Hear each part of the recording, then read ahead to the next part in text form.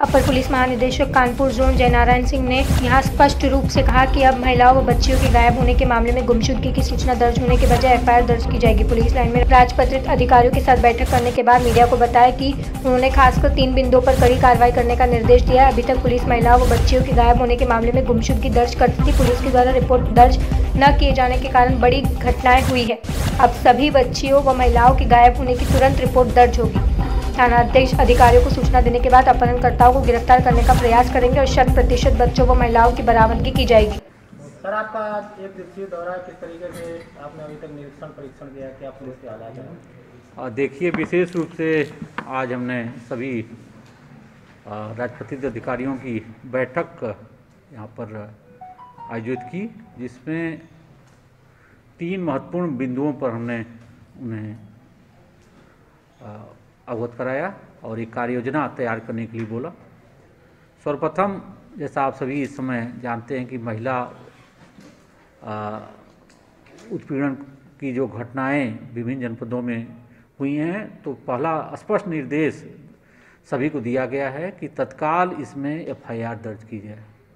FIR का तात्पर्य यह है कि ये जो लोग गुमशुदगी दर्ज करते हैं, गुमशुदगी नहीं, सीधे इसमें एफआईआर दर्ज की जाएगी।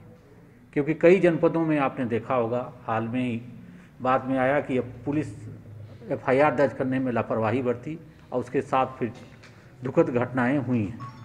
तो इस संदर्भ में स्पष्ट निर्देश जिससे कि किसी भी रूप में कोई गफलत न हो कि तत्काल एफआईआर दर्ज की जानी है। और थानाध्यक्ष जैसे ही सूचना मिलेगी, तत्काल अपने राजपत्रित अधिकारी को और पुलिस अधीक्षक को भी।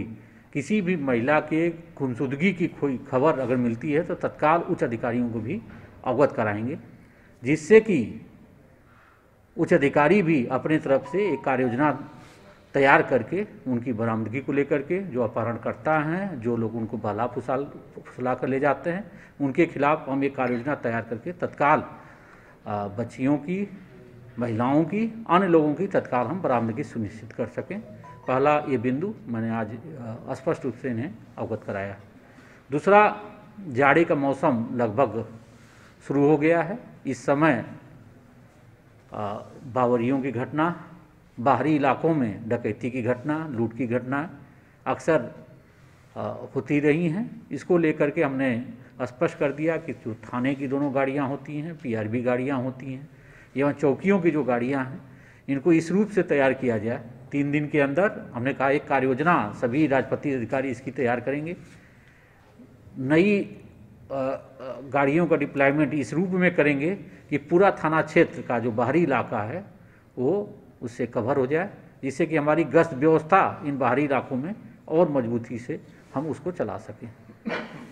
तीसरा कतिपय जनपदों में आपने देखा होगा कि अवैध शराब को लेकर के मौतें हुई हैं। उसको लेकर के भी यहाँ पर कार्रवाई पूर्व में भी, दिवाली के पूर्व भी यहाँ के अधिकारी उसमें सक्रिय थे। हमने कहा, यह जो इसको लेकर के दबिशें हैं, इसको लेकर के जो कार्रवाई है, वो अभी आगे भी जारी रहेगी। तो विशेष रूप से इन तीन बिंदुओं को, इसके साथ साथ राजपत्रित अधिकारियों के जो विवेचनाएँ हैं, कुछ लंबित प्रकरण थे उनको भी हमने समीक्षा की